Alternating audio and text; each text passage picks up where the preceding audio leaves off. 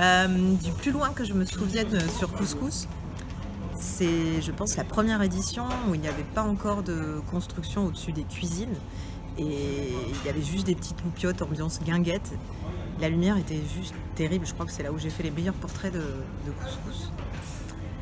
Le coucher de soleil était rosé juste ce qu'il fallait et le, soleil, et le ciel assez sombre, euh, bleu, bleu foncé, bleu foncé.